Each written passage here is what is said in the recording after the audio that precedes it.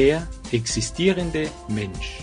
Eine existenzanalytische und logotherapeutische Radiosendung auf Freirad, Freies Radio Innsbruck auf 105,9. Näheres zu dieser Sendung sowie zu vergangenen und zukünftig geplanten Sendungen finden Sie unter www.sinn-los.at. Durch die Sendung führt sie Markus Felder, Psychologe und Psychotherapeut, Existenzanalytiker. Meine Damen und Herren, willkommen zur heutigen 24. Sendung der Sendereihe Der existierende Mensch. Heute die zweite Jubiläumssendung. Die erste Jubiläumssendung war ja vor einem Jahr.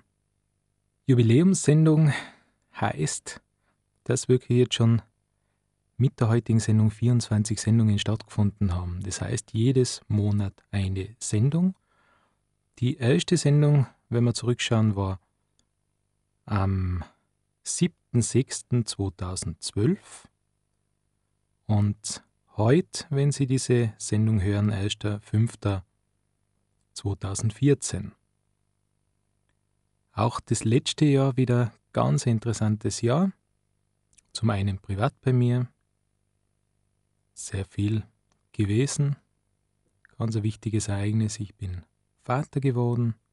Ganz schön. Und von der Sendereihe auch natürlich ganz, ganz interessante Themen, was da waren. Wir haben so die 13. Sendung gehabt zum Thema Lebendigkeit und Sinn. Dann ist es gegangen um Selbst- und Arbeitsorganisation und Sinn. Weiter ist dann gegangen im August letzten Jahres zu dem Thema Gartenprojekt und Sinn. Dann ist die Sabine Wolski gekommen zum Thema Haustiere und Sinn. Chronische Erkrankungen waren dann Thema. Dann hat es eine Sondersendung gegeben. Alfred Lengle hat einen Vortrag auf der Theologischen Universität in Innsbruck gehalten.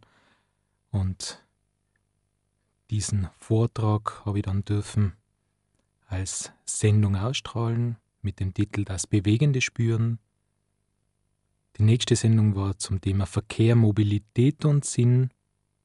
Neujahrsvorsätze war dann so die erste Sendung im Jahr 2014. Danach Kinder. Danach elektronische Medien, Videospiele und Sinn. Und die letzte Sendung im letzten Monat zum Thema Verantwortung und Sinn. Also Sie hören ganz, ganz vielfältige Themen. Nur bevor ich jetzt da noch weiter rede, was so Inhalt dieser Zeit war, äh, vielleicht lassen wir einfach so die, die verschiedenen Studiogäste zu Wort kommen. Und zum Thema Zeit, glaube ich, hat es ganz, ganz treffend Bernhard Meyer, Arbeitspsychologe, ausgedrückt. Der war in der Sendung Nummer 14 zu Gast zum Thema Arbeitsorganisation und Selbstorganisation und Sinn. Und er hat Folgendes zum Thema Zeit und Zeitsparen, Zeitgewinnen gesagt. Zeitmanagement in dem Sinn ist nicht ein Einteilen von etwas Abstrakten wie Zeit, sondern ein Einteilen vom eigenen Leben. Und ich kann nicht Zeit sparen, ich kann nur eine Erfahrung nicht haben wenn ich die Erfahrung von Arbeitslosigkeit nicht haben will, dann werde ich mich bemühen zu arbeiten. Äh, hoffentlich ist mir es dann auch vergönnt, dass bei meinem Willen zu arbeiten nicht trotzdem Arbeitslosigkeit als Erfahrung für mein Leben steht. Oder wenn ich die Erfahrung mache, mir wünsche, Vater zu sein, die Erfahrung mache, machen möchte, Mutter zu sein, dann werde ich was dafür tun müssen. Aber Zeit sparen heißt immer, letzter Konsequenz, eine Erfahrung nicht machen, an einer Erfahrung sparen, am eigenen Selbst sparen, ja, etwas im eigenen Leben ausklammern. Mhm. Und Zeit gewinnen wird dann übersetzt damit, eine Erfahrung gewonnen zu haben. Und die größten Zeitgewinne im Leben sind ganz besondere Erfahrungen. Mhm. Für jeden ganz verschieden. Sie hören ganz interessante Einsichten zum Thema Zeit, die man sich so als erstes wenn es um das Thema Zeiteinteilung geht, Selbstarbeitsorganisation, im ersten gar nicht einmal vorstellt, dass es um sowas geht in der Radiosendung. Was haben wir noch da? Wir haben ganz, ganz vielfältige Themen. Wir haben so dieses, ja, dieses Thema da gehabt, den Träumen folgen. Das war zum Beispiel in der Sendung Nummer 15 Gartenprojekte. Dass man einfach seiner Leidenschaft, seinen Träumen folgt und sich nicht so sehr irgendwie einschränken lässt durch verschiedene Strukturen, existenziellen Ängsten und einfach an, an, an das Positive glaubt und daran, dass man einfach sehr viel durch Eigenermächtigung und Selbstkreieren ähm, erschaffen kann. Zu Gast bei mir im Studio waren dazu mal Miriam Hammer und Daniel Baumgartner. Miriam Hammer und Daniel Baumgartner haben von einem, einem Gartenprojekt geredet, Urban Gardening, beziehungsweise ein Projekt, wo sie mit der Gruppe der Roma mitsammen ein Gartenprojekt, ein Bauernhof ins Leben gerufen haben. Also auch da, wenn Sie mehr Informationen wollen, dann hören Sie vielleicht am besten nach. Das war die Sendung Nummer 15. Und Miriam Hammer hat gerade das gesagt, was Sie gehört haben. Wenn wir uns anschauen, was hat da, oder anhören, was hat da Daniel Baumgartner dazu gesagt? Was war für ihn das Zentrale oder was ist für ihn das, die zentrale Botschaft, die er Ihnen, den Hörerinnen und Hörern, mit auf den Weg geben will, dann hat er Folgendes gesagt. Ich würde mir einfach wünschen, dass das viel mehr Leute einfach auch ihre Ängste fallen lassen und ihre Zweifel ein bisschen versuchen fallen zu lassen und einfach mal was probieren. Mhm. Und einfach mal ähm, anstatt die Möglichkeit einer Veränderung in endlosen Diskussionen bis um vier in der Früh wegzuargumentieren, ähm, einfach mal in der Früh aufzustehen und äh, anfangen an einer Veränderung zu arbeiten. Das ist eigentlich gar nicht so schwer, nur muss man halt einmal den ersten Schritt machen. Also Sie hören ganz vielfältige Ideen eigentlich, die im Rahmen dieser Sendereihe immer wieder reinkommen vielfältige Ideen zu verschiedensten Bereichen. Zum Beispiel Sendung Nummer 19 Verkehr, Mobilität und Sinn. Elmar Huber, ein Verkehrspsychologe, hat zum Beispiel, wenn wir das Thema hernehmen, was kann ich tun, damit Probleme weniger werden, Folgendes gesagt. Äh, es ist oft sehr leicht, über die anderen Menschen zu urteilen, zu richten, zu bewerten, bis hin zu schimpfen. Viel würde dadurch äh, in die richtige Richtung gelenkt werden und das wäre auch ein Anliegen von mir. Und diese Frage kann man sich auch täglich selber stellen. Was kann eigentlich ich beitragen und tun, damit manche Probleme weniger werden? Auch im Straßenverkehr. Und wenn wir dann näher hineinhören und so diesen Bereich der ja, fast Selbsterfahrung näher betrachten, dann können wir in diesem Beitrag noch Folgendes Interessantes hören die Situation, äh, ich habe einen Streit gehabt mit meinem Chef mhm. und fahre jetzt nach Hause.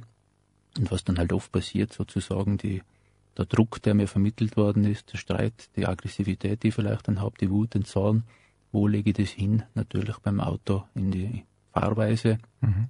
Man fährt dann halt schneller, man fährt aggressiver, man fährt abrupter, man fährt leichter auf auf andere, überholt unter Umständen riskanter. Das wäre natürlich sozusagen die Situation, die man dann auch angehen muss aber natürlich die persönlichen Bezüge. Wie reagiere ich darauf, wenn jemand mich Druck auf mich ausübt, wenn ich mich ungerechtfertigt behandelt fühle? Was passiert da in mir emotional? Wie kann ich damit besser umgehen, dass ich das im Auto dann eigentlich zum Beispiel am Gaspedal auslebe? Mhm. Also das ist eigentlich unsere, einer unserer Inhalte zum Beispiel. Also Sie hören ganz Vielfältiges zum Thema Menschsein. Wenn wir uns das noch weiter anschauen, wo es vielleicht so Möglichkeiten der Rollenübernahme bzw. neue Rollen einzunehmen im Leben innerhalb den verschiedenen Sendungen im letzten Sendungsjahr gegeben hat, findet man zum Beispiel was beim, beim Thema Kinder und Sinn. Birgit Teufelberger, eine Psychotherapeutin, die vorwiegend in dem Bereich Kinder und Jugendliche arbeitet, hat hier zum äh, Bereich Kinderspielgruppen Folgendes gesagt ich denke mir jetzt vielleicht nochmal so aufs Spiel zu kommen, oder so, was man da sieht. Und da, da denke ich mir, was, was wir relativ oft sehen. Jetzt rede ich auch wieder von den Kindergruppen, die wir mhm. da machen in der Praxis. Aber so Kinder, die halt so immer stark sein müssen und irgendwie so immer, die wir sind ja, so unsere Kindergruppen sind ja sehr burschenlastig und da sind immer alle die stärksten und die wildesten und die, wir haben da oft fünf Könige und fünf Kaiser und fünf Piratenchefs und so. Und das ist dann immer ganz nett so zu sehen, wenn alle irgendwie Chefs sein wollen und die Besten, das, da wird es ein bisschen schwierig und da wird es eigentlich ein bisschen öd. Und dann so zu merken, dass das einmal ganz toll sein kann, wenn man zum Beispiel irgendwie, mein Gott, einen Kampf vielleicht, wenn man verletzt wird im Kampf und dann gibt es aber einen Sanitäter oder irgendwen, der einem da hilft. So, also zu merken, wie das auch sein, also dass man einfach eine andere Rollen ne-, einnehmen kann und nicht immer nur der Starke sein muss. Mhm. Oder dann der Hofnarr, also irgendwie so was Lustvolles dann entdeckt, was jetzt nichts damit zu tun hat, mit diesem ständigen Wunsch und diesem Gefühl, so man muss unbesiegbar sein, weil man wahrscheinlich im wirklichen Leben mhm. oft diese Rolle nicht einnimmt. Ja. Und das ist dann ganz schön so zu sehen, wenn die Kinder dann auch sagen, na, das war halt toll, wie ich da versorgt worden bin. Mhm. Es war ganz gemütlich in der Höhle drinnen, viel besser wie draußen am Schlachtfeld. Meine Damen und Herren, Sie hören der existierende Mensch, Sendung Nummer 24, die Jubiläumssendung Zwei Jahre der existierende Mensch. Ich möchte Ihnen einfach über das letzte Sendungsjahr hinweg ein bisschen Auszüge einspielen, ganz interessante Auszüge aus den verschiedenen Sendungen, ganz vielfältige Sendungen zu sehr vielen Themas. Wir haben zum Beispiel die letzte Sendung gehabt zum Thema Verantwortung und Sinn. Gotthard Bertsch, Psychotherapeut, Pädagoge und Leiter einer Opferschutzstelle der katholischen Kirche. Näheres hierzu finden Sie und auch Näheres zu den anderen Gästen finden Sie natürlich auf www.sinn-los.at. Da können Sie auch die ganzen Sendungen noch einmal nachhören. Gehen Sie hinein, gehen Sie auf die Links und hören es nach. Es zahlt sich wirklich aus also heute hier, natürlich in dieser, in dieser Zeit, sage ich mal, es handelt sich ja circa um zwölf Sendungen und äh, natürlich kann ich den nur bruchstückehaft in gerade gewissen kleinen Auszügen hier in dieser einen Stunde hineinpacken. In dieser Sendung Verantwortung und Sinn hat es zum Beispiel ganz eine interessante Aussage gegeben zu dem Thema Verantwortung abgeben bzw. Verantwortung zu übernehmen? Also ich glaube schon, dass der erste Reflex äh, das ist, irgendwelche äh, Begründungen zu finden oder zu suchen und ganz schnell einmal zu, zu bringen, äh, um Verantwortung nicht zu übernehmen. Okay. Also das fällt mir ganz viel auf. Also kenne ich bei mir selber auch. Mhm. So irgendwie so fast schon ganz rationell, dass man das äh, von sich weiß, wenn man einen Fehler gemacht hat, sondern man hat vielleicht ganz schnell eben eine Begründung da, wie man das einfach äh, ja, wegrationalisieren kann, dass man da jetzt einfach einen Blödsinn gemacht hat. Mhm. Also ich glaube, das gilt heute nach wie vor. Mhm. Dass, dass das einfach, ja, dass wir uns schwer tun, wirklich die Verantwortung zu übernehmen. Aber wir haben zum Glück auch die Fähigkeit, im zweiten Schritt das dann doch zu tun mhm. und merken dann, es tut uns eigentlich auch gut. Ja. Wenn wir wirklich die Verantwortung übernehmen, in, in dem Wort Verantwortung steckt ja das Wort Antwort drin. Mhm. Also wirklich eine Antwort zu dem geben, was jetzt zum Beispiel gerade passiert ist. Ja. Und da nicht, da, äh, nicht drauf einzugehen. Und, und zu antworten quasi den Anforderungen oder den, den Anfragen, äh, das tut uns Menschen schon gut da macht es dann plötzlich irgendwie einen Sinn. Ja, aber leider ist es halt oft auch so, dass es erst im zweiten Schritt uns gelingt oder im dritten und ich glaube, da geht es uns allen gleich. Also manche Leute können das natürlich ein bisschen besser, manche tun sich da ganz schwer, weil sie irgendwie vielleicht damit Ängsten äh, das, das in Verbindung bringen, so trauen sich nicht. Ja, aber ich glaube, dass jeder Mensch die Möglichkeit hat, das ein Stück weit auch zu lernen, die Erfahrung zu machen, wenn sie Verantwortung übernehmen, dass es ihnen ganz gut tut, dass sie nicht den Kopf verlieren Mhm. sondern dass sie vielleicht sogar ja, Ansehen gewinnen, wenn nicht vor anderen, dann vor sich selber, wenn sie in den Spiegel schauen und sagen, ja, ich stehe dazu. Ja, das, mhm. das, von dem her ist Verantwortung ein schönes Thema. Wenn wir weiterschauen so auf den Menschen mit seinen Grundbedürfnissen im Leben, finden wir zum Beispiel was bei der Sendung Nummer 20. In dieser Sendung ist gegangen um Neujahrsversätze und Sinn. Zu Gast war Eduardo Duran Rodriguez, Theologe, Coach, Lebenssozialberater und der hat was gesagt über zwei Grundbedürfnisse des Menschen. Es sind zwei Grundbedürfnisse, mhm.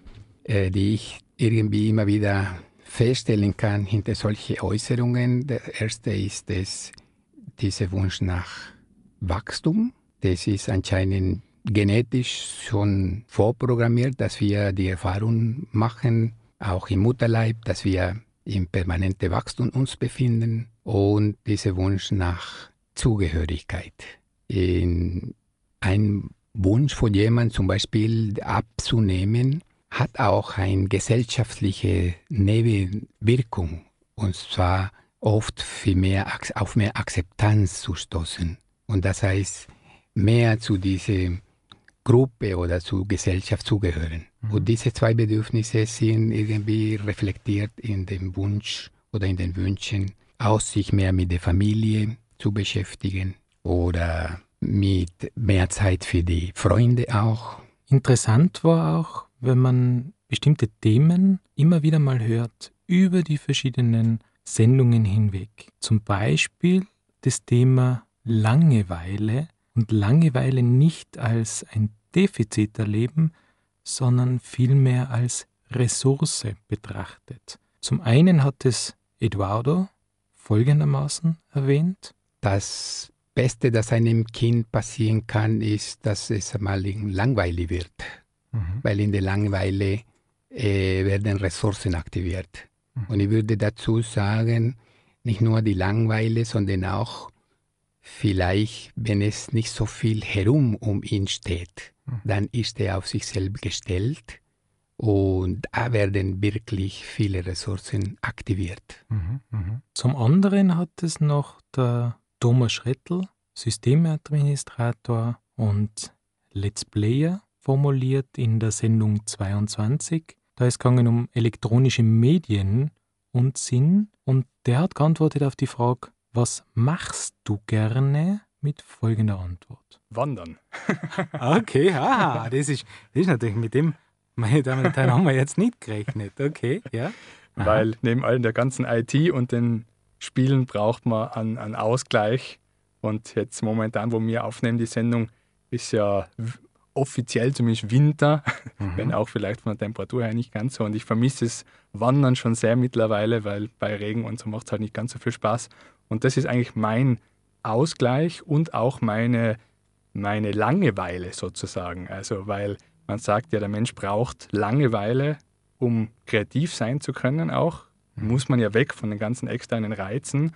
Und eben, das ist dann richtig bewusstes Wegkommen von, vom sonstigen Alltag raus in die Natur, andere Reize, passive Reize, vielleicht auch kein Zwang, sich Gedanken zu machen und dann kommen ja meistens äh, die richtig guten Ideen. Wenn wir sogar bei der Sendung sein, Sendung Nummer 22, dann ist mir noch in Erinnerung der Bereich, wir haben versucht, den Bereich Computer, Videospiele als Ressource zu betrachten, also positiven Bereich zu betrachten, aber auch diesen Bereich Computersucht haben wir ein bisschen, sage ich mal, gestreift mit folgender Aussage.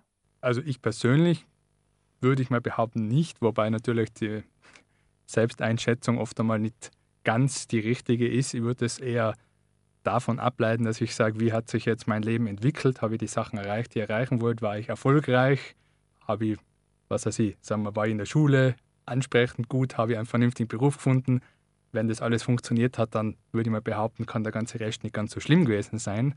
Und im Rückblickend würde ich sagen, es war alles bisher sehr, sehr nach Wunsch. Also ich habe alles immer geschafft, was ich äh, schaffen wollte, wenn auch manche Sachen mit etwas Verspätung, wie Studium oder ähnliches. Allerdings in meinem Umfeld natürlich, weil wenn man sich viel mit äh, Computer, mit Computerspielen auch beschäftigt oder mit Videospielen, wie wir es ja genannt haben, dann lernt man durch entsprechend viele Leute auch kennen oder taucht ein bisschen tiefer in die Materie ein, wenn man sich vielleicht auch etwas beliest zu dem Thema. Und da muss ich sagen, auf jeden Fall. Also Suchtpotenzial ist da definitiv viel vorhanden und es wird auch größer, das Potenzial. Also um auch mal ein paar Zahlen zu nennen, nach, nach den Erhebungen, die ich kenne, das war von der Ipsos äh, Media CT, soweit ich das weiß, ist das eine Studie. Das ist jemand, der also eine, eine Firma oder eine Vereinigung, die sich jetzt primär mit Spielen beschäftigt und die sagen, dass 42 Prozent, glaube ich, der österreichischen Leute, die einen Zugang zu Computer haben, auch spielen. Mhm. Und das zählt als, glaube ich, in den letzten zwölf Monaten mindestens einmal ein Spiel gespielt, zählt als, man ist ein Spieler, also ist jetzt natürlich ein bisschen äh, flexibel der Begriff. Mhm. Aber eben also allein schon eine Menge Leute, die überhaupt spielen, die also Zugang haben zu Spielen. Und wie wir ja schon gesagt haben, Spiele werden immer einfacher verfügbar, genauso wie Geräte zum Spielen immer einfacher verfügbar werden, weil man kann natürlich mittlerweile auch auf dem Smartphone, das man immer dabei hat, weil jeder hat ein Handy oder ein Smartphone, kann man auch spielen und kann natürlich dort theoretisch viel Zeit damit verbringen. Und viele, viele mobile Spiele, also viele Spiele, die fürs Handy gemacht sind, sind genau auf das ausgelegt, auch dass sie ein bisschen äh, ein Suchtgefühl verursachen wollen, weil das auch das Geschäftsmodell natürlich ist. Weil jeder, der ein Spiel macht, kommerziell will das natürlich verkaufen, will Geld damit machen. Und jetzt ist die Frage, wie mache ich das beste Geld damit? Naja, entweder die Leute zahlen einfach 100 Euro fürs Spiel, was keiner tut natürlich. Mhm. Vielleicht auf dem, auf dem PC oder so, da zahlt man 50, 60 Euro. Aber jetzt gerade auf dem Handy oder auf dem Smartphone, wenn ich da ein Spiel mir besorge, das ist oft kostenlos, mhm. vermeintlich natürlich. Ich bekomme dafür halt Werbung eingeblendet ab und zu zum Beispiel. Und dann ist es natürlich umso lukrativer für denjenigen, der das Spiel programmiert hat, wenn die Leute umso länger spielen, umso mehr spielen. Und entsprechend sind die Spiele dahingehend programmiert, dass man eben möglichst lang, möglichst viel spielt. Sie hören auch kritische Betrachtungsweisen beziehungsweise über den Bereich hinausgehende Betrachtungsweisen, sage ich mal gerade hier was zum Thema elektronische Medien und Sinn. Was immer wieder auch natürlich Bestandteil dieser Sendereihe ist, sind zum einen die Sinngedanken. Die Sinngedanken habe ich aber jetzt bei dieser Sendung nicht mit drinnen, die werden es dann ab der nächsten Sendung wieder hören.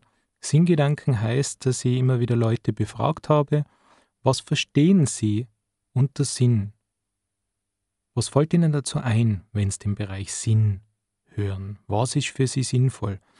Meine Damen und Herren, wenn Sie was dazu sagen wollen, dann rufen Sie mir entweder an oder schreiben Sie mir E-Mail. Wenn Sie anrufen, können Sie mir eine Nachricht hinterlassen und einfach ganz kurz heraufsagen, hinaufsagen, was ist für Sie sinnlos, was fällt Ihnen ein zu dem Thema und ich schneide dann gerne zusammen, bring's dann gerne in einer der nächsten Sendungen. Wenn Sie in der Sendung vorkommen wollen, dann rufen Sie auch entweder an oder schreiben Sie mir Mail. Näheres hierzu unter www.sinn-los.at. Auch Sie würde ich gern zur Sendung einladen. In dieser Sendereihe, wie gesagt, geht es mir um den Bereich Menschsein. Es geht mir immer wieder um eine Verbindung herzustellen zu dem Sinnkonzept von Viktor Frankl, Psychiater, Neurologe, hat die dritte große Wiener Richtung der Psychotherapie gegründet, neben der Individualpsychologie von Alfred Adler, neben der Psychoanalyse von Sigmund Freud. Seine Richtung hat den Namen Logotherapie und Existenzanalyse und da geht es neben anderen Bereichen ganz zentral um den Bereich Sinn, Sinnfindung oder um Grundbedürfnisse. Auch in weiterer Folge, zum Beispiel hat es weiterentwickelt Alfred Lengle oder auch andere. Und da geht es eben auch um um Grundbedürfnisse des Daseins, um unser Leben. Und Viktor Frankl hat zum Beispiel drei Prachtstraßen zum Sinn genannt. Und diese drei Prachtstraßen, also wie, wie verspüren sie den Sinn in ihrem Leben? Beziehungsweise was wären so Straßen, auf denen sie gehen könnten, um Sinn zu erleben? Da hat er zum Beispiel beschrieben, es wäre zum einen schöpferische Werte, das heißt wo, in was für Bereichen haben Sie Möglichkeiten, was Neues zu schaffen, was ins Leben hineinzubringen? Da kann es um Schreiben, da kann es um Gedichte, da kann es um Malen, da kann es also um alles Mögliche geben, wo Sie was in das Leben hineinbringen. Der zweite Bereich wäre der Bereich der Erlebniswerte. Wo erleben Sie das Leben? Wo nehmen Sie teil am Leben? Wo sind Sie mit Haut und Haar beim Leben dabei? Und der dritte Bereich wäre der Bereich der Einstellungswerte, das heißt in Zeiten, in denen Sie vielleicht nicht mehr schöpfen und nicht mehr erleben in dem Sinn können oder nur mehr eingeschränkt, weil es zum Beispiel eine Einschränkung aufgrund von einer Erkrankung gibt. In diesen Zeiten geht es um Ihre Einstellung zum Leben. Und hierzu war zum Beispiel bei der Sendung Nummer 24 was. Sendung Nummer 24, da ist gegangen um chronische Erkrankungen und Sinn. Martina Huber, Psychoonkologin, klinische Gesundheitspsychologin, hat hier zu dem Thema mit mir gesprochen und sie hat da Folgendes gesagt zum Bereich Sinn im Leiden.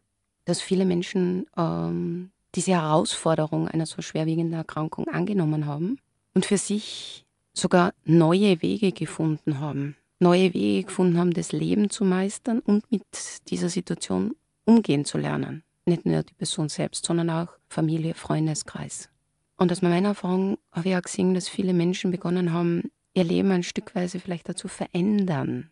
Verändern dahingehend, dass sie angefangen haben, bewusster im Hier und Jetzt zu leben. Das hört sich jetzt so banal an im Hier und Jetzt. Aber wenn wir selbst denken, an uns selber denken, wie oft verharren wir mit unseren Gedanken, entweder in der Vergangenheit, grübeln herum, was wäre wenn, was hätte ich getan, wenn. Und wie oft galoppieren unsere Gedanken in die Zukunft. Was möchte ich? Was werde ich? Und wie oft sind wir wirklich präsent in dem jetzigen Augenblick. Dass wir wirklich sagen, und jetzt, jetzt bin ich da, das zählt. Und habe nicht hunderttausend andere Sachen im Kopf. Der existierende Mensch. Eine existenzanalytische und logotherapeutische Radiosendung auf Freirad, Freies Radio Innsbruck auf 105,9. Jeden ersten Donnerstag im Monat um 20 Uhr. Näheres zu dieser Sendung sowie zu vergangenen und zukünftig geplanten Sendungen finden Sie unter www.sinn-los.at.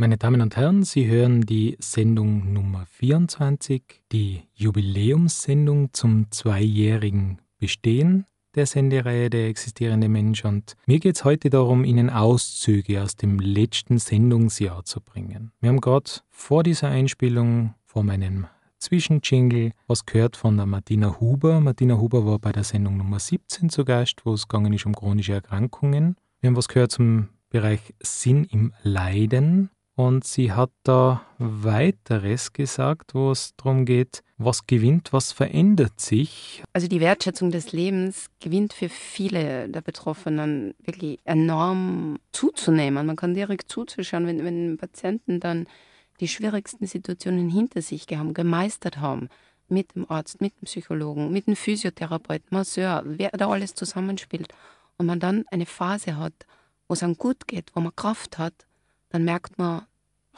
die leben ganz bewusst mit der Familie, mit den ganzen Hobbys, alles, was da möglich ist. Ähm, eben neue Möglichkeiten. Äh, viele denken, ja, später werde ich mir einmal das leisten oder das machen. Und dann wird eben der Fallschirmsprung jetzt gemacht und nicht erst in zehn Jahren. Oder der Ausflug dorthin oder das Beisammensein das wieder Kontakt aufnehmen mit jemand anderen. Weil der Mensch dann merkt, es zählt, dass ich es jetzt tue und nicht erst in fünf Jahren, weil ich weiß nicht, was in fünf Jahren ist. Und das kann man irrsinnig gut beobachten. Genauso auch, dass sie Beziehungen intensivieren, habe ich immer wieder festgestellt. Und Beziehungen zum Partner, zu den Kindern, zu den Eltern, wenn es jüngere Patienten sind, dass man merkt, wir sind eigentlich alle miteinander verbunden egal äh, ob uns etwas trennt, ob das jetzt die räumliche Trennung ist oder ob es eine Sache ist, die nie ausgesprochen wurde, angesprochen wurde.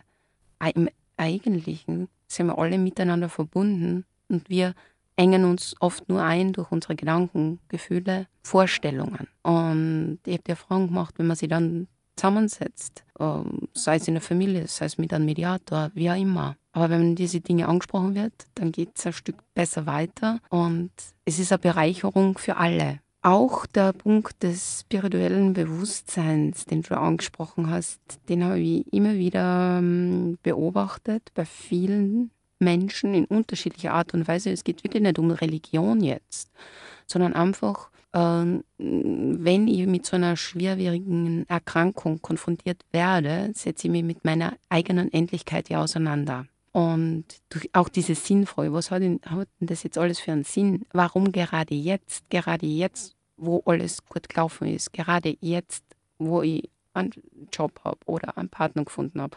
oder gerade jetzt, wo die Kinder noch so klein sind. Und da finden viele ähm, nach Erhalt Antworten und Stärke durch einen Weg, der ihnen ja, das Spirituelle zeigt. Das ist ganz egal, ob das jetzt eine Religion ist oder die Natur ist oder was auch immer. Menschen suchen sich dann das raus, was für sie und ihre Lebenssituation am passendsten ist.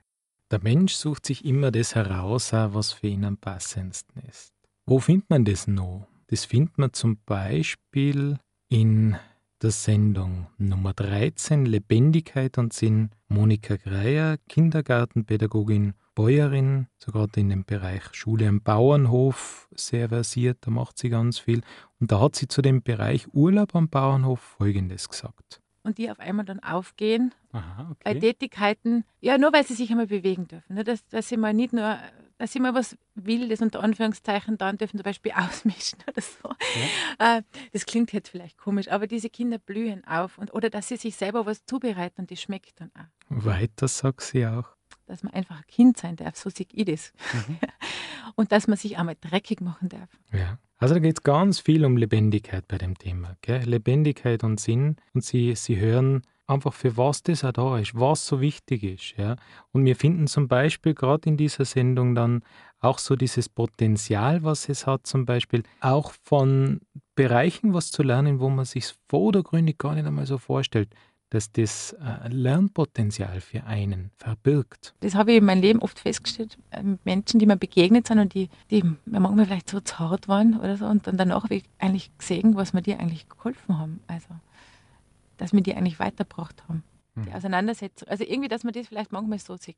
Okay. Wenn dann einer so richtig wurmt, diese zwei Gedanken, also entweder ist es was, was eigentlich bei dir selber die total aufregt, ja. oder dass halt das deine Aufgabe ist, die du jetzt zu bewältigen hast. Hm. Also Sie hören, auch Leute, die Sie aufregen, die Sie vielleicht vordergründig eher fordern, wo Sie eher ausstellen wollen, können ganz ein hohes Potenzial für Sie selber einfach auch mit sich bringen. Sie hören ganz vielfältige Themen, was ich immer, nur, immer wieder betonen kann. Ich muss sagen, mir gefällt es auch selber, wie Sie es auch hören, sonst würde ich es auch nicht machen. Und mir gefällt an dieser Sendereihe gerade das, dass eben diese Vielfältigkeit der Themen da ist und dass es ja immer wieder Menschen sind, die sich auf was ganz Persönliches einlassen. Und dieses Persönliche, dieses Einlassen auf das Persönliche ist zum anderen nicht leicht, ganz klar und braucht natürlich eine, eine hohe Authentizität, so die Möglichkeit, einfach authentisch von sich selber sprechen zu können. Versucht habe ich das Ganze immer wieder und werde es auch weiter versuchen durch den existenziellen Steckbrief. Existenzielle Steckbrief, was einfach fünf Fragen hat. Ja? Fünf Fragen, die es ein bisschen ermöglichen sollen, äh, hinter den Menschen zu blicken, der hier in der Sendung sitzt diese Fragen wären, ja, fünf sind es gar nicht, es sind sogar sechs. Der erste der Fragesätze wäre der Name. Ist schon ganz klar äh, ein bisschen komisch, warum frage ich nach Namen, wenn ich davor eh einen Namen schon sage, aber wie es äh, immer wieder gehört haben, seien auch Menschen da, die was vielleicht nicht so ganz gebräuchliche Namen da haben und wo es schon auch nochmal gut ist, wenn die Person den Namen sagt, weil ich sie vielleicht nicht gerade richtig ausspricht, die verschiedenen Namen zweite geboren. Bei geboren ist es ganz interessant zu beobachten, wie vielfältig diese Frage beantwortet wird. Von ganz genau auf den Tag, aufs Monat beschrieben, äh, das Geburtsdatum, kalendarisch oder geboren in einer Großfamilie als drittes Kind. Also ganz, ganz vielfältig, wie diese Frage beantwortet wird. Dann ganz interessant die Frage aufgewachsen und hierauf, was verbindest du mit deiner Kindheit? Und da möchte ich jetzt ein paar einfach auch nochmal zur Sprache kommen lassen. Was verbindest du mit deiner Kindheit? Habe ich zum Beispiel, wenn wir bei der Sendung Nummer 13 bleiben, Monika Greier gefragt und sie hat Folgendes geantwortet. Oh, mir, also mir fällt die Freiheit fällt mir ganz stark ein wir sind am Rande eines Dorfes groß, also eigentlich auf einem Weiler groß geworden mit vier anderen Bauernhöfen. Und äh, für mich war die Kindheit also ganz etwas Wunderschönes. Also ich weiß zwar, dass wir müssen haben fest mithelfen, aber ich habe das nie so als Last empfunden. Aber einfach das Gefühl, wenn man dann alles erledigt hat und dann durfte man bis Punkt 5, die Mama war da streng, aber haben wir dürfen im, im Wald spielen, wir haben dürfen mit der Natur in Kontakt treten, ohne dass uns irgendjemand was vorgegeben hat oder dass uns jemand gesagt hat, was man zu tun hat. Und was wären andere Antworten zu dieser Frage? Was verbindest du mit deiner Kindheit? Sonnenspielen, Radl fahren, fliegen. Was könnte noch was sein? Aufgewachsen, was fällt ein dazu?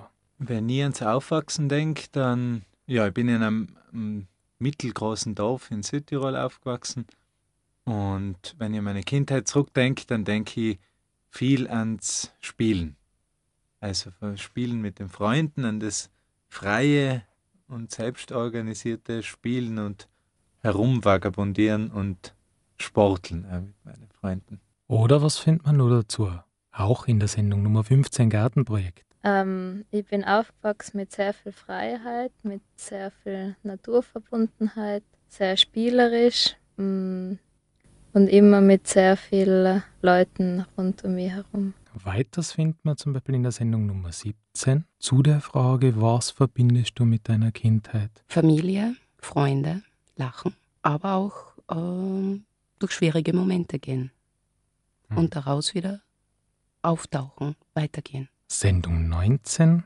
Aufgehobenheit, ein tolles Zuhause, Konstanz, ja, Unbeschwertheit, die Freiheit, mich entwickeln zu können.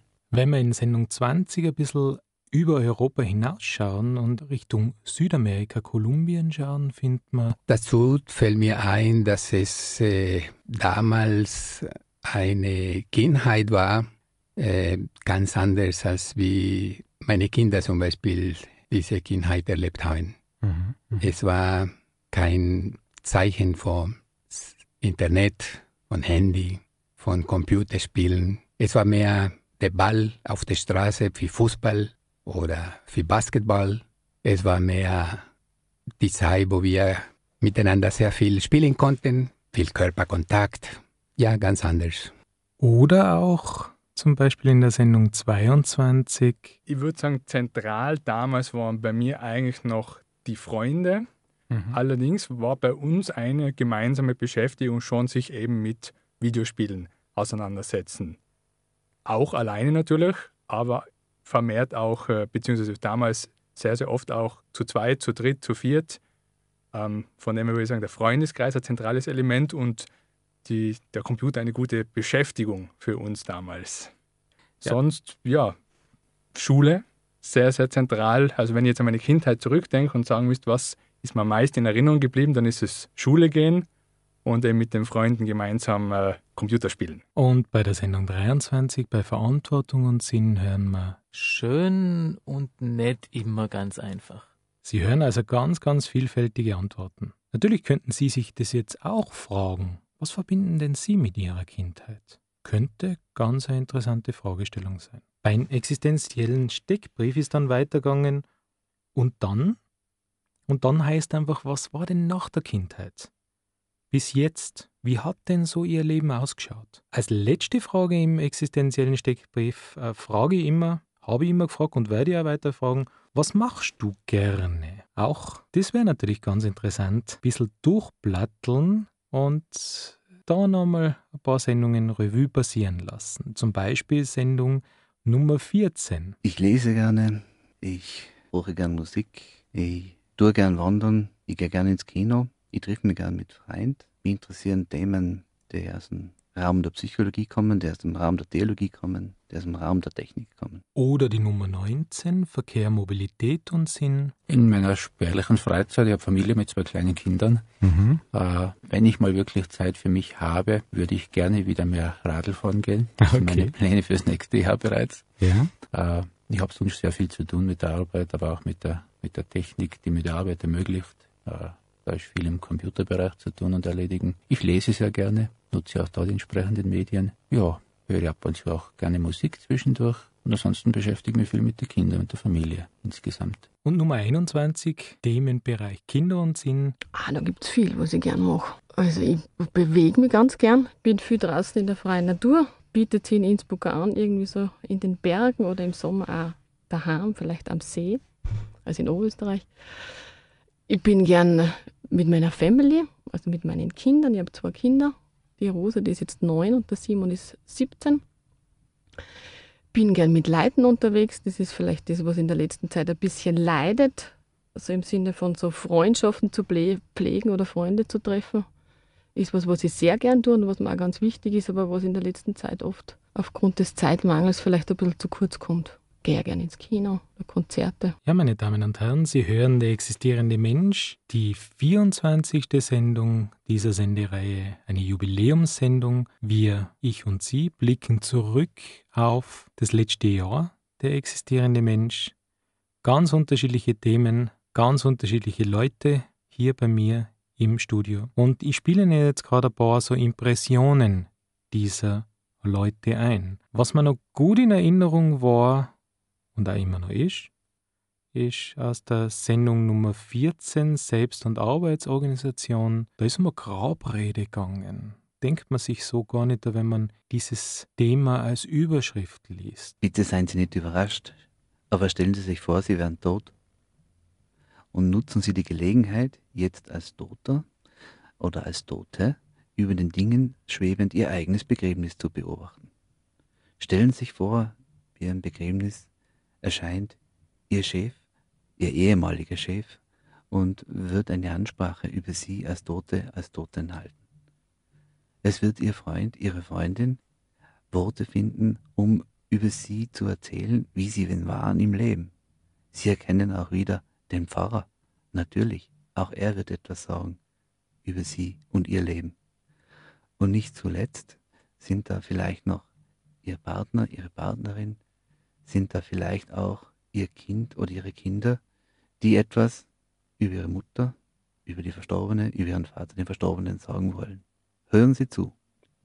Sie hören, wie der Pfarrer spricht und finden, äh, ich erkenne mich da nicht wieder, das bin ja gar nicht ich.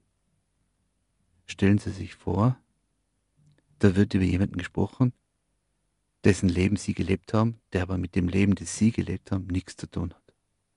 Und stellen Sie sich jetzt die Frage, wollen Sie das? Oder hätten Sie gerne, dass der, der da spricht, von Ihnen spricht, der von dem Leben spricht, das Sie gelebt haben wollten, das, das, was Sie wirklich sein, das, was Ihnen wichtig ist und das alle Redner, jeder mit seinem Blickwinkel sieht und wiedergibt der Partner, der sie beschreibt als den Partner, der sie gerne wären oder gewesen wären. Überlegen Sie sich, wie sollten die Grabesreden von Menschen, die ihnen etwas bedeuten, aussehen und was müssten sie jetzt tun oder ändern, dass die Reden mit ihrem Leben, das sie noch leben, übereinstimmen. Sie haben in der Zeit, das war ja nur Visualisierung, sie sind noch nicht tot. Ich wünsche Ihnen alles Gute. Also Sie hören bewegende Einblicke in verschiedenste Betrachtungsweisen des Lebens. Hierzu findet man zum Beispiel noch was in der Sendung 23 Verantwortung und Sinn zum Thema Konsequenzen. Der Alfred Lengle, bei dem ich ja auch die Ausbildung gemacht habe, der hat ja immer gesagt, ich meine, wenn ich Nein sage, dann sage ich zu was anderem Ja. Und auch umgekehrt, oder? Wenn ich zu was Ja sage, dann sage ich zu was anderem Nein. Also das heißt, ich habe ein Stück weit da immer äh, mit den Konsequenzen von diesem Ja beziehungsweise Nein dann auch zu leben. So. Oft ist es ja nicht, zum Glück nicht so groß, nicht, nicht die existenzielle Entscheidung, aber wenn ich mir jetzt für ein äh, für Schokolade entscheide, entscheide ich mich gegen einen Apfel ein Stück weit. Ja, und mit den Folgen habe ich zu leben. Mit den Folgen haben sie zu leben. Das heißt also, jede Wahl beinhaltet auch die Konsequenz, dass sie was anderes nicht wählen. Sie haben jetzt der existierende Mensch gewählt, jetzt in diesem Moment und haben sich gegen was anderes entschieden. Die heutige Sendung, wie gesagt, ein, ein Rückblick auf das letzte Jahr der existierende Mensch, auf ein sehr vielfältiges Jahr mit ein paar Impressionen. Impressionen können natürlich nur bruchstückhaft sein. Das heißt, es wird immer was außen vor bleiben. Wollen Sie die Sendung als Gesamtes nachhören, dann gehen Sie auf www.sinn-los.at und Sie können die gesamte Sendung hören. Ich glaube, einige Sendungen, wenn nicht die ganzen Sendungen, wären es wirklich wert, sie zu hören. Die Sendung Nummer 18, wie ich Ihnen schon kurz gesagt habe, war eine Sondersendung. Das bewegende Spüren, ein Vortrag von Alfred Lengle auf der Theologischen Fakultät. Der gesamte Vortrag können Sie nachhören und danach kurz Interviews mit Menschen, die bei dem Vortrag waren. Und da möchte ich Ihnen gerade ein kurzes Interview einspielen. Vielleicht können Sie sich ein bisschen was dazu vorstellen. Also ich fand es sehr interessant, dass in der Existenzanalyse entgegen dem allgemeinen heutigen Zeitgeist die Subjektivität der Menschen betrachtet wird. Auch dieser Vortrag wäre es wert anzuhören. Bei den verschiedenen Themen finden Sie immer wieder Vorstellungen bzw. wie so Aufforderungen. Sie könnten sich auch mitbeteiligen. Wo Sie sich mitbeteiligen könnten, wäre zum Beispiel Sendung Nummer 15 Gartenprojekte. Ich spiele Ihnen ganz kurz was vor zu dem Inhalt bzw. um was es da geht. Also ähm, das Projekt heißt eigentlich Waldhüttel, also mhm. nochmal drüber stehend. Und ähm, so heißt einfach das Haus, wo wir drin wohnen. Und ähm, das Haus ähm, gehört im Stift Wilten und ist einfach uns zur Verfügung gestellt worden um einen Platz für Roma, also Leute aus der Slowakei, eine Schlafstelle zu bieten. Und ähm, so sehen wir eigentlich auch die Roma als Hauptbegründer. Initiator ist der Yusuf Windischer und ganz viele Leute, also Vinzenzgemeinschaft und ganz viele andere Helferlein haben ihm geholfen, das Projekt aufzubauen.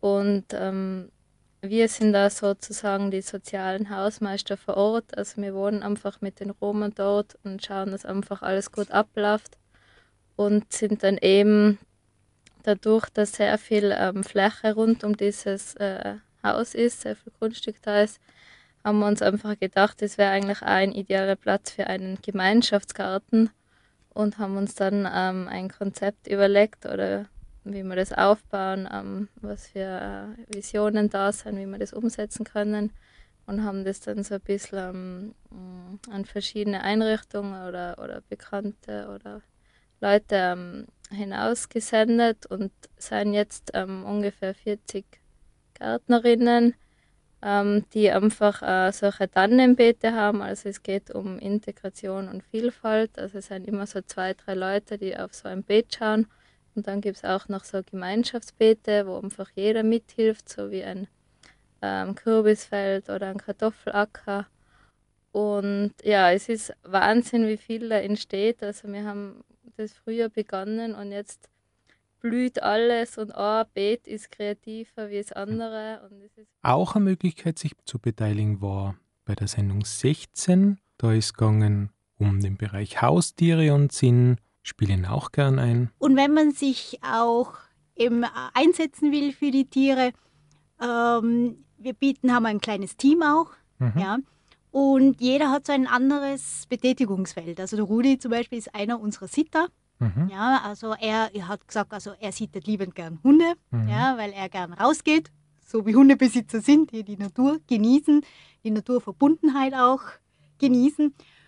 Aber wir sitten ja auch Tiere, äh, Katzen, andere Tiere wie Hunde, nämlich Katzen, auch Echsen. Wir haben auch schon Fische gehabt, auf die wir aufpassen müssen. Mhm. Und ich bin auch nicht überall Profi. Ja, mhm. also ähm, Fischhaltung ist ja eine, eine schwierige Sache. Gell? Das ist eine Wissenschaft für sich. Mhm. Wir haben auch mal einen Vortrag äh, organisiert über Fischhaltung. Ja, ah, schön, ja. schön. Und äh, lieben gern, wenn einer sagt, ich bin Fische, lieben gern bitte mit mir Kontakt aufnehmen und wir können dann über alles reden oder auch mal Hunde eben ausführen oder Katzen betreuen. Liebend, liebend gern. Freue ich mich jetzt schon. Ja, meine Damen und Herren, jetzt sind wir schon wieder am Ende dieser Jubiläumssendung angekommen. Wieder in dem Sinn, weil das war auch bis jetzt bei jeder Sendung am Ende spürbar, dass noch so viele Bereiche, Themengebiete da wären über den man reden könnte. Mit den Einzelnen, was bei mir in der Sendung waren. Vielleicht ergeben sich ja auch in Zukunft wieder mal die eine oder andere Möglichkeit, wo ein Studiogast, was bei mir schon in der Sendung war, in die Sendung wiederkommt und weiterredet. Ich glaube, die Themen sind wirklich unerschöpflich. Das hat sich immer wieder gezeigt. Aber wie gesagt, meine Damen und Herren, wollen auch Sie in der Sendung vorkommen, dann rufen Sie mir an, schreiben Sie mir eine Mail. Ich würde Sie gerne hier in der Sendung bei mir sehen. Und ich glaube, Sie, liebe Hörerinnen und Hörer, würden den einen oder den anderen oder die eine und die andere auch gerne hören. Ja, scheuen Sie sich nicht, egal mit was für ein Thema, melden Sie sich bei mir. Ich freue mich auch auf die Zukunft, einfach auf das, sagen wir mal, das nächste Jahr von der existierende Mensch, weil in einem Jahr werden wir uns wieder in Form einer Jubiläumssendung hören, vielleicht dann auch eine Live-Jubiläumssendung. Diese Sendung war jetzt aufgezeichnet. Sie haben ja gehört, innerhalb von diesem Jahr, es hat sich immer wieder mal so ein bisschen abgewechselt. Einige Sendungen waren live, da hätten Sie dann anrufen können hier im Studio. Die Studionummer finden Sie unter www.sinn-los.at und einige Sendungen sind einfach voraufgenommen, weil es sich einfach nicht ausgegangen ist, entweder vom Studiogast oder von mir, ist dann voraufgenommen worden und dann ausgestrahlt. Also, scheuen Sie sich nicht, wenn Sie sagen, nein, Live-Sendung will ich nicht, wenn dann will ich was voraufgenommenes, kein Problem, dann nehme ich ja die Sendung vorauf. Meine Damen und Herren, ich bedanke mich bei Ihnen für das fleißige Zuhören, entweder von dieser Sendung oder von den vergangenen Sendungen und würde Sie auch gerne wieder vor den Radiogeräten sehen, hören am Telefon, wie auch immer, bei den zukünftigen Sendungen. Am Ende würde ich gerne Bernhard Meyer zu Wort kommen lassen, weil der hat ein ganz äh, interessantes Gleichnis auch noch einmal mit hereinbracht. Am Gleichnis, da wo es um die wichtigen Dinge unseres Lebens geht. Ja, hören wir uns das doch an. Ich wünsche Ihnen vorab schon einen sinnvollen Abend. Auf Wiederhören. Dann am 5. Juni, da wird es mit Elisabeth Riederer, eine Lebenssozialberaterin, um das Thema Alter Unsinn geben. Also, ich glaube, auch ganz eine interessante Sendung. Aber jetzt lassen wir nochmal Bernhard Meyer zu Wort kommen, ja, um die Steine des Lebens. Ich möchte Geschichte erzählen von einem Zeitmanagement-Guru, der befragt wurde von Managern, die keine Zeit hatten. Sie würden gern eine Kurzfassung haben vom Zeitmanagement. Der Zeitmanagement-Guru hätte eine Stunde Zeit. Guru denkt nach und sagt, okay. Nimmt ein Glas, ein 5-Liter-Glas, stellt es vor den Managern hin und tut fünf große Steine ein in dieses 5-Liter-Glas.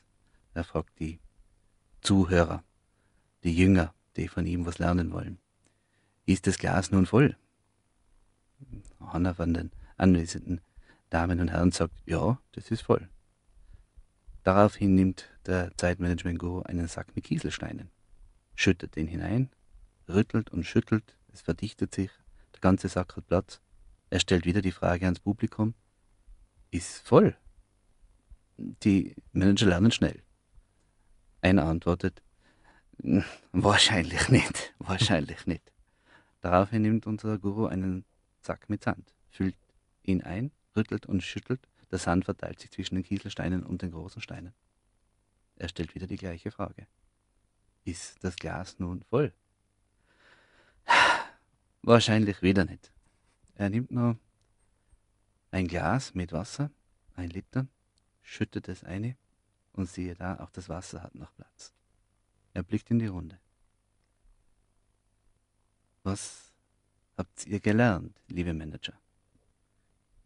Fleißiger zackt er auf und sagt, wenn man es nur recht dreht und wendet, dann hat unwahrscheinlich viel Platz, alles hat Platz. Der kleinste Raum lässt sich ausnützen. Wenn man die richtige Organisation hat. Der Guru schüttelt den Kopf.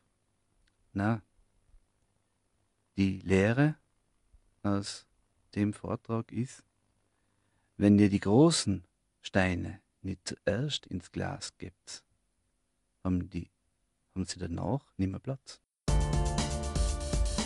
Der existierende Mensch.